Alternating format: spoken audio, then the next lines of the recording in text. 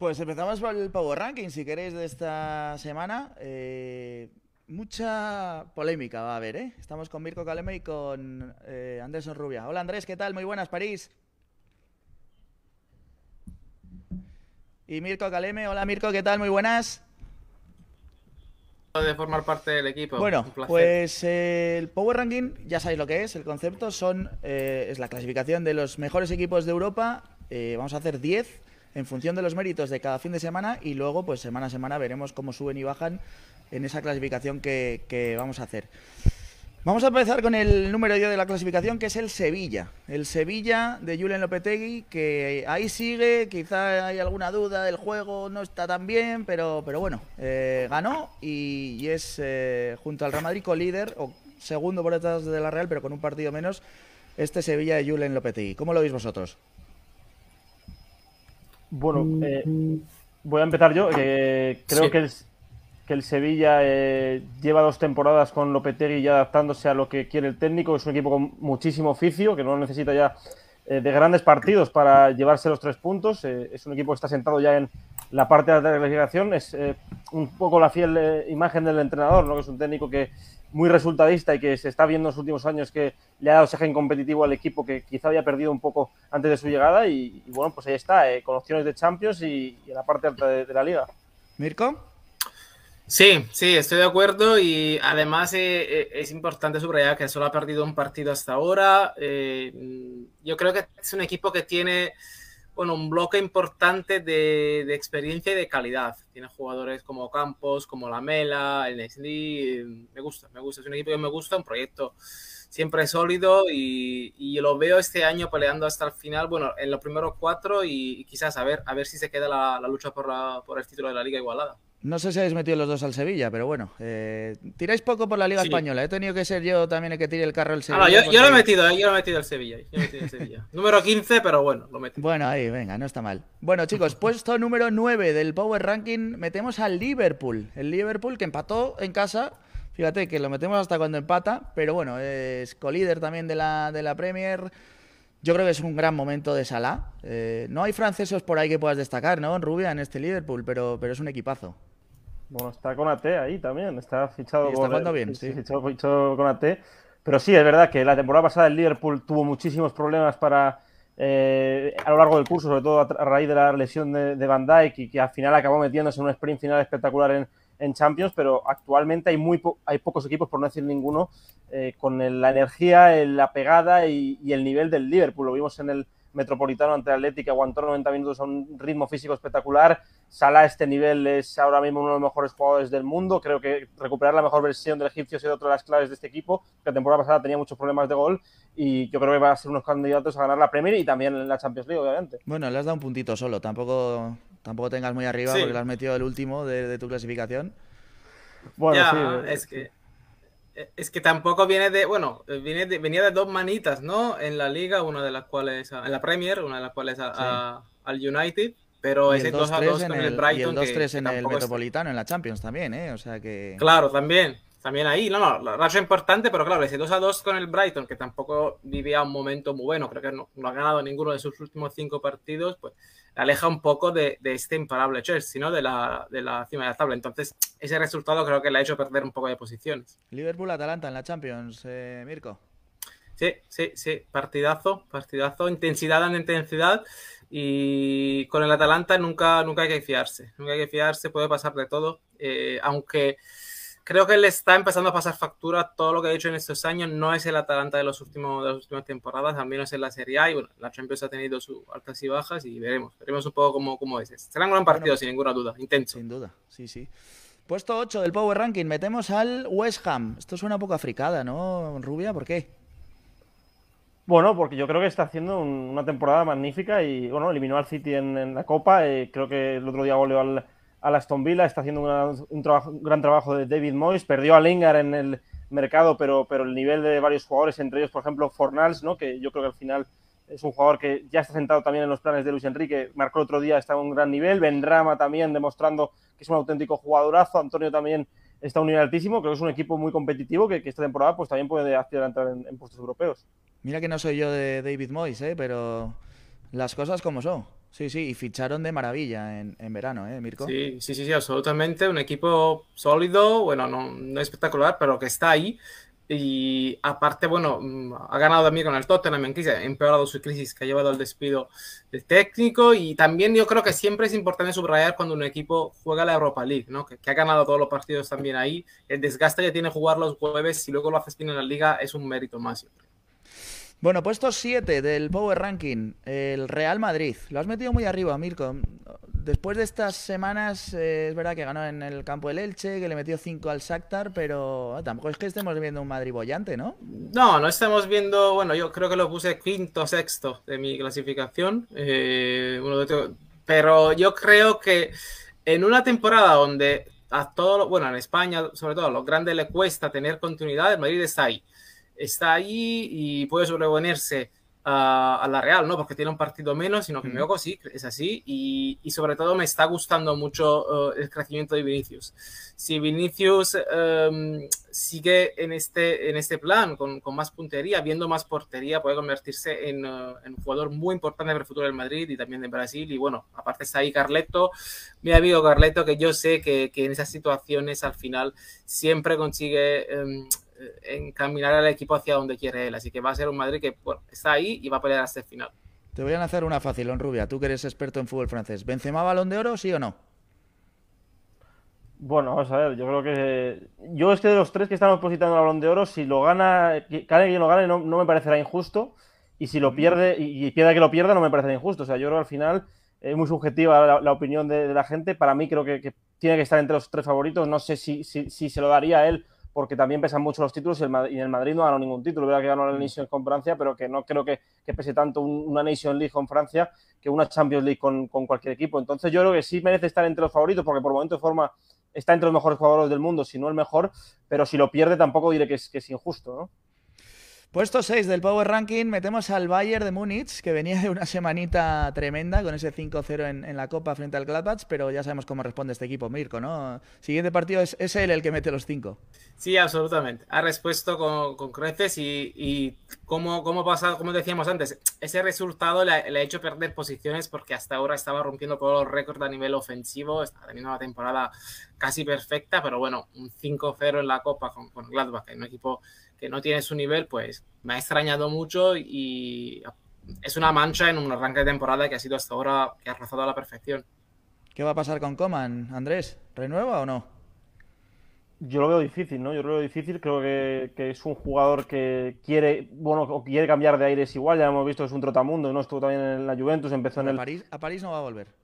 bueno, a París se le, ha, se le, ha, relacionado con el, con el PSG, se relacionó hace poco. Yo creo que no va a volver, obviamente, porque pero es un jugador que es un talentazo, tiene muy mucho regate, también tiene grandes cifras en goles y asistencias, pero el problema son las lesiones, ¿no? Y Coman nunca ha tenido regularidad por culpa de las lesiones y si le respetan, pues es un, caramelo muy apetecible, ¿no? En el mercado.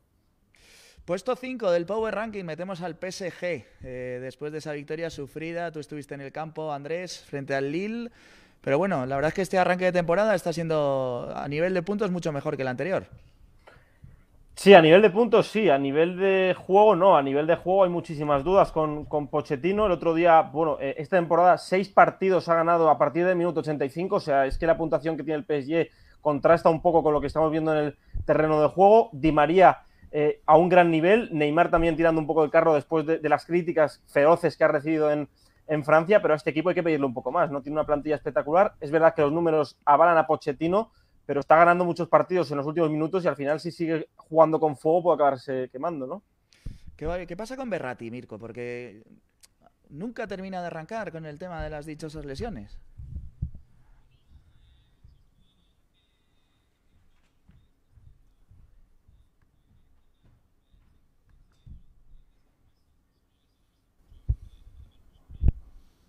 Yo creo que, que en este momento, como decía, como decía Andrés, bueno, Berratti es un hombre clave del PSG sin ninguna duda, pero yo me espero más de este equipo en general. Es que Has metido, mira Mirko, te, estoy viendo aquí tu clasificación. ¿Has metido más arriba al Madrid?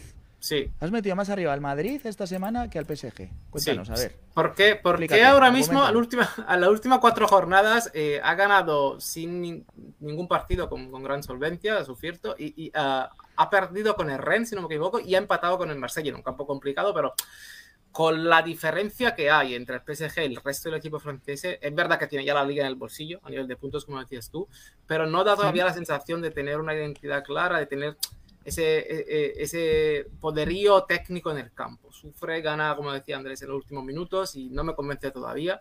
Y, claro, sí, está arriba, tiene la liga ya prácticamente casi ganada ya, estamos en noviembre, pero si te digo que me está gustando ver al PSG, no. Puesto 4 del Power Ranking, metemos a la Real Sociedad, líder de la Liga Española, y eso que empató en el último minuto en, ese derby frente al Atleti Bilbao. Te la lanzo, Andrés. ¿Lenormand selección, sí o no? Yo creo que no. Yo creo que no. Yo eh, quiero que vaya antes, eh, creo que tiene que ir antes Saliba, el central del, del Marsella, pero creo que tiene que. Pero, pero sí, bueno, que yo. Si se está saliendo Lenormand, ¿no? Sí, Lenormand. no, de la liga yo creo que viendo lo que ha hecho de Champ en los últimos años, convocando a jugadores como Fuma, que está de suplente en el Chelsea, y a otros centrales como Lenglet, que no están en su mejor momento, de Norman merece ir convocado, pero yo conociendo al técnico no creo que le lleve, porque ya sabemos que hace mucha, mm. que, es un entrenador que fortalece mucho el grupo y, que le cuesta mucho incluir a jugadores eh, de, equipos que no tengan a lo mejor el, calibre ¿no? De, o el nombre de, por ejemplo, un equipo no esté en Champions, ¿no? Y mm. bueno, yo creo que merece ir porque está a un nivel altísimo Lenormand, me alegro bastante por él y, creo que es una de las claves, bueno, por no decir una de las principales eh, armas de que esta Real o motivos de que esta Real esté líder ahora mismo. ¿Te gusta la Real, no, Andrés? Yo soy más del Atletic, pero bueno, sí, a mí me gusta. bueno, pues mira. Otro de tus muchos defectos. Mirko, 13 puntitos le has dado tú a la Real, ¿eh? Sí, tercer puesto de, de, mi clasificación, porque bueno, aparte que la vi en el Maradona, nos hizo enfadar un poco Imanol cuando dijo lo de, Silva y Maradona, es una comparación que, que, no estuvo muy bien, la verdad, pero me, ha impresionado, dijo eso de Silva, eh, tiene la técnica de Maradona y corría más, ya te puedes imaginar cómo se han tomado aquí en Nápoles, pero me impresionó su organización, mm, es un equipo que, creo que puede llegar lejos, no pierde desde agosto. Y aparte empatar en el campo del Atleti, también demostró, eh, bueno, empatando como, como lo ha hecho en el, en el derby vasco con el Athletic, eh, jugando con el desgaste de la Europa League, ellos también, con un talento como Isaac, me gusta, es un equipo que me gusta mucho. ¿Qué se dice y... en Italia? Aprovecho que te tengo aquí. ¿Qué se dice en Italia de un líder de, de la liga como es la Real, por ejemplo? No, no, impresiona, impresiona, se habla bien. Aparte, de hecho, mm, dejó muy buena impresión con, con el cruce de Europa League con el Nápoles y, y Manuel, aquí ahora se, siempre se está buscando el, el entrenador que, que que le dé una, un alma, una identidad clara a su equipo y Manuel es uno de ellos, claramente. Gusta mucho, gusta mucho y, y gusta, se habla genial de Isaac. Eh, se habló también en el mercado que, que, varios equipos le querían, pero tiene un precio muy alto y ahora mismo no está como llegar para llegar al calcio, yo creo. Bueno, entramos en el top 3. Me fastidia deciros que estamos bastante de acuerdo esta semana. Yo creo que en las sucesivas va a haber más. Era fácil. Eh. Bueno, pero habéis dejado, fuera, habéis dejado, los dos fuera del Niza, este segundo sí, hemos dejado fuera el Niza. O sea, no sé si nos lo vas a poder perdonar, pero bueno, lo, lo hemos hecho. Por lo que sea, ¿no? Se ha quedado fuera. Por lo que sea, lo hemos hecho, sí. Puesto 3 del Power.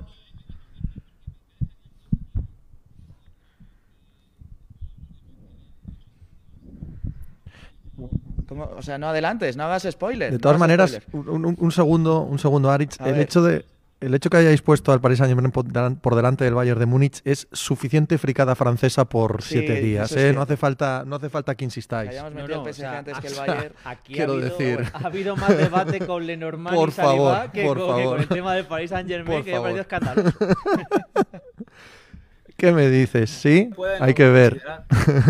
bueno, puesto 3 del Power Ranking. El Chelsea, el campeón de Europa, jugará bonito, feo, gustará más o menos.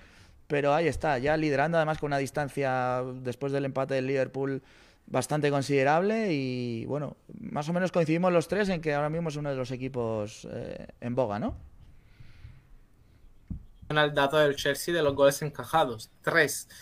Mismo dado de otro equipo del que hablaremos después, no quiero hacer más spoiler, y, es un dato muy importante, porque de ahí ves cuando un equipo tiene, es sólido ahí, bueno, no juega muy bien, pero ha ganado 3-0, ¿no? Con el Newcastle. Tampoco es que esté haciendo un fútbol tan amarrategui. Está ahí mi amigo Giorgio, que es mi, mi favorito para el balón de oro, aunque no lo vaya a ganar, me encantaría, pero bueno, sabéis por qué. Y eso, me, está gustando el Chelsea. Bueno, es de los mejores de Europa ahora mismo. Oye, Eduard Mendy, igual, igual se acaba arrepintiendo Francia de no haberlo convocado, ¿no, Rubia? Bueno, no sé, yo creo que al final eh, está Meñón, que es el portero del, del Milan, que, que, es un porterazo y que también, por cierto, le, explotó muy bien Galtier, pero sí es verdad que Eduard Mendy, bueno, contamos hace poco, bueno, hace unos, meses la historia en el, en el AS, de que hace cinco años estaba en sexta división francesa y es un portero que hasta los 25 años, de hecho, eh, no, no, ha sido profesional, eh, debutó porque se lesionó un portero en, segunda división y a partir de ahí pues empezó a, rendir a un gran nivel en el, en el Reims. Luego en el Rennes fue clave para meter al equipo en Champions por primera vez y ahora estamos viendo en el Chelsea que es una auténtica barbaridad de portero. Además, el, el, que ahora tiene otro portero, está, está echando muchísimo de menos a Eduard Mendy. Es un guardameta que, tiene grandes cualidades y, creo que es un cerrojo total porque cuando el Chelsea no juega mal, juega mal, perdón, eh, aparece Eduard Mendy. O sea, es que le funciona todo al equipo de Tuchel. Bueno, es que he leído una estadística para el 91% de los tiros que le, que le tiran, que le hacen. O sea, no es que no le lleguen al Chelsea, es que cuando le llegan las para. Yo decía lo de Francia porque, claro, un caso así como tú dices, jugadores de esta división, lo normal es que federaciones pequeñas como Senegal, que no tienen tantos porteros o tal, eh, se los acaben llevando, que es lo que ocurrió, ¿no? Pero ahora, pasado el tiempo, viendo el nivelazo que está teniendo en el campeón de Europa, eh, uno piensa si podía haber tenido la opción también de ser eh, titular incluso con la selección francesa, ¿no? Que le hubiera dado más caché. En Francia se habla incluso... Le llaman cuando está en el Reims. A me, suena que le llamaron cuando está en el Reims y claro, un portero del Reims, aunque está a un gran nivel en, Francia pues no tenía ese caché, ¿no? Que ahora sí tiene en el Chelsea. Digo que ha habido mucha polémica en Francia y en Inglaterra también, porque no haya estado entre los 30 nominados al Balón de Oro. Se considera que es, de hecho lo es, una pieza clave del Chelsea el año pasado, cuando llega Tuchel, se carga a Kepa y pone a Eduard Mendy, ¿no? Verdad. Mm. Bueno, pues todos eh, del ranking, del Power Ranking, con esto yo creo que vamos a decantar el uno también. El Nápoles, el Nápoles, Mirko, San Paolo a muerte ahí, a punto de ganar la semana en el Power Ranking. La verdad es que es un temporadón. No sé cómo lo estáis viviendo allí. Tú eres eh, napolitano. Está siendo terrible esto, ¿no? Sí, sí, sí. Es una temporada hasta ahora. Bueno, el Napoli llegó, venía de esta temporada con una decepción enorme, porque cerró el año pasado perdiendo la Champions con un empate absurdo ante el Verona, que no tenía objetivos, y además le entregó la clasificación a la Juve, que si el Napoli ganaba se iba a jugar la Europa League. Podéis imaginar el drama. Sí. Pero al final no ha vendido a nadie, ha fichado bien y ha llegado Spalletti, que es un entrenador que en su carrera nunca tuvo una mala temporada, básicamente, y, le, ha, dado al Nápoles lo, lo, que necesitaba, que es solidez, tranquilidad lo que decía antes, ha encajado tres goles solo en 11 mm. jornadas, como el Chelsea. Eh, no lo he puesto en mi primer, en el primer lugar de, mi clasificación porque ha sufrido mucho para ganar en Salerno ante la Salernitana. Estuve ahí, un derby calentísimo, y ha ganado con gol de Zielinski y se notó mucho la, falta de Osimen. Cuando no está... mira, iba a hablar precisamente de él. Eh, ¿En Francia, Rubia se veía que podía ser el delanterazo que es ahora? Sí, sí, bueno, hace una temporada en el Lille impresionante. Osimen, eh, que es un delantero que no solo tiene gol, tiene zancada, eh, tiene buen juego aéreo, es un delantero eh, completísimo. hablando de Osimen también, bueno, eso salió en Italia, Mirko, el otro día, que lo de las plusvalías extrañas de, del traspaso de Osimen, porque en Francia se investigó, pero bueno, es un delantero que, como digo, Aritz eh, me parece completísimo y, eso que costó, creo que fueron al final 70 millones, que parece un precio desorbitado, pero al final parece que está 48. 48 ah, son los millones, ah, exacto. Yo te dije, porque son. Eh, el, el, Nápoles pagó 70 y luego el Lille le compró a Carnes y a tres jóvenes por 20 millones. Que no han debutado. que no han debutado ya, ya han vuelto además. Así que el precio real de Ozyman son 48 millones y algo. El que me tiene loquísimo es Zambo Anguisa, que lo conocéis bien los dos. qué bestialidad de temporada está haciendo de hecho, Anguissa está haciendo que estemos viendo la mejor versión con diferencia de Fabián desde que ha llegado. Fabián, está increíble. Y es la paradoja es que iba con la selección cuando igual no estaba al 100%, ahora está increíble y no está yendo. El fútbol es raro. Pero Anguissa, que aparte llega cedido con opción de compra, le resuelve todos los problemas del mediocampo del Nápoles. No juega ya Demme, que, el año pasado lo hizo genial. Ya le, volvió a sacar el sitio a la vodka, que había empezado bien la temporada, pero ya es intocable absolutamente. El centro del Nápoles, además. Anguisa, digo. Ah, bueno, Anguisa sí, bueno, en el Marsella tuvo En aquel Marsella que llega a la final de la Europa League, que pierde ante el Atlético, hace una Europa League fantástica. Luego en el, en el Fulham, es verdad que en un Fulham que no se podía analizar porque era un auténtico desastre, no estuvo bien. Luego en el Villarreal hizo una temporada maravillosa también y estamos viendo que es un medio centro muy completo, porque claro, a simple vista tú piensas que es solo un medio centro físico, pero es que con balón distribuye mucho y abarca muchísimo campo, o sea, es un medio centro muy completo. Le falta solo el gol, le falta solo el gol. Mm. Cuidado lo último para el Napoli, el problema del Napoli enorme es enero. Se van a ir Koulibaly, Anguissa y Osimena a la Copa de África. O sea, la, la médula, todos los tres mejores jugadores del Napoli no están en enero y en enero hay Nápoles, Juve Nápoles. Así que para, para, que tenéis. Pero bueno, el número uno. la última se hizo en verano. Yo no sé, bueno, yo creo que al final. Sí, pero han vuelto, han vuelto a invierno. han vuelto a invierno. Sí, sí, han vuelto. Eso es. Número uno del Power Ranking. Eh, no hemos hablado mucho, no se habla demasiado de este equipo. Eh, está la sombra en los últimos años de los grandes de Italia. Pero ahí está el Milan. El Milan, líder, colíder de la Serie A junto al Nápoles, ganó, ganó en el Olímpico 1-2, Mirko, y bueno, pues oye, ¿hemos recuperado a un gigante del fútbol europeo o no?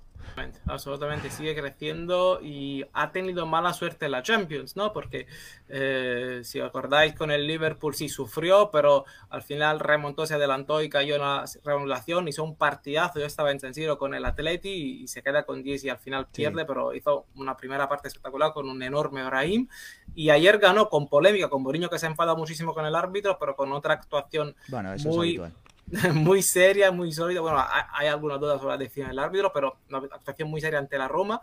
Está ahí arriba, está invicto como el Nápoles y, creo que puede ser el año que, volvimos a los años 80, cuando el Nápoles de Maradona eh, eh, se jugaba, jugaba para el Scudetto ante el Milán de los holandeses y, y es algo romántico, ¿no? Que después de tantos años de Juve, el año pasado del Inter, ahora ya este duelo y, veremos en diciembre que hay en San Siro, Milán-Nápoles, llegan ahí cerca como lo están ahora. Teo expulsado, pero está haciendo un temporadón. Giroud está marcando goles, eh, Andrés. Ibra. Ibra, que, no, lo juega todo, pero cuando juega marca la diferencia. Es impresionante. Ayer metió, dos golazos, uno anulado, uno una falta potentísima y luego mete otro a lo Ibra, por lo se lo, se lo quitan por fuera del juego. Es así, no jugará todos los partidos. Eh, es el defecto quizás del Milan, el único que le veo claro, porque tiene a Ibra que no jugará todo y Giroud, su sustituto, también tiene problemas físicos de vez en cuando, pero si los dos llegan bien hasta el final y si el Milan sobre todo al final no consigue clasificarse a los octavos de Champions, Champions lo tiene complicado y ni a la Europa League, puede hacer como el Inter el año pasado, que si os acordáis, el Inter sale de, la, de la Champions y al final recto hacia Scudetto. Señores. Andrés, eh, el Milan, tú también le has puesto el mejor de la semana, ¿no? Sin duda. Sí, además que Pioli es un entrenador que está alternando sistemas, se le ve que prácticamente aporta bastantes cosas. El, nivel de Ibra con, 40 años me parece impresionante porque yo creo que nadie esperaba que un jugador con 40 años esté en una liga top de Europa y esté marcando goles y siendo decisivo. Me está gustando, bueno, ya desde hace tiempo sí, que empezó muy mal mm. en el Milan y ya es una pieza clave. Vamos a ver si salen en verano porque parece que no puede renovar y el PSG está al acecho del, del medio centro, pero es un equipo muy bien trabajado, eh, tácticamente tiene variantes para atacar a rivales que se encierran y como bien ha comentado eh, Mirko, eh, incluso le puede venir hasta bien eliminarse de, Champions para centrarse solo en la liga para ganarla. Ha sido un poco fácil esta semana, los tres hemos decidido que el Milan sea el mejor de la semana. Os aseguro que no va a ser tan fácil en las siguientes porque va a haber mucho movimiento. Hay el derby de Milán, ¿eh? El derby de la Madonina. Inter Milán. El derby de Milán. El Inter que se quedó fuera, no lo está haciendo mal, pero se quedó fuera. sí, sí, no, hay partidazos esta, esta semana y, partidos tremendos. Y noticias que van surgiendo, como el despido de Nuno en el Tottenham. hay mucho movimiento y. Conte que va. Conte que va, Conte que viene, etcétera. En fin, ahora vamos a hablar de ello, por cierto, en, en, este programa. Chicos, muchas gracias. Un saludo, Andrés, desde París, eh, Mirko desde Nápoles. y hasta la semana que viene. Hasta luego. Chao, chao, adiós. Carlos, esta gente, además de manera unánime, han puesto al Milán como el mejor equipo de Europa. Milán que tiene cero puntos en la Champions League tras tres semanas. Milán que dicen que si se clasifica para la Europa League, si se clasifica para la Europa League, quizás, quizás pueda tener alguna opción de pelearla. Yo sigo traumado con el de... Son un fraude. Con lo pero además, es que, además unánime. O sea, han votado los tres al mejor equipo a uno que lleva cero puntos en la Champions. Yo sigo traumado con el del Paris Saint Germain. Entonces, a partir de ahí ya admito que he desconectado. Hola, Aritz. Hola. Pero. ¿Pero por qué os, por qué os cuesta aceptar que los clásicos siempre vuelven? No, no, sí, vuelven a ver contra Loporto. a ver contra Loporto mañana qué manera de volver. Que es que lleva cero puntos en Champions. ¿Cuánto tiempo lleva sin jugar la Champions en Milan? ¿10, y, y, lleva cero puntos. ¿Qué queréis? ¿Que vuelva a jugar la Champions y la gane? No, no, pero que entonces no podrá ser el mejor equipo de Europa. peleando por la Serie Este año va camino de poder ganarla. Poco a poco, ¿no? Que es un Milan resucitado de, de, la nada. No, lo pongáis el uno, pues. Sí, esta semana es el mejor. ha ganado en el campo de la Roma. claramente. Bueno, claramente 1-2. Sí, sí, digo que es el mejor, claramente. Había, hablabas del eh, Tottenham, es mm. una de las grandes noticias de la semana, la destitución de Nuno como entrenador del equipo. Yo no puedo quitarme de la cabeza la sensación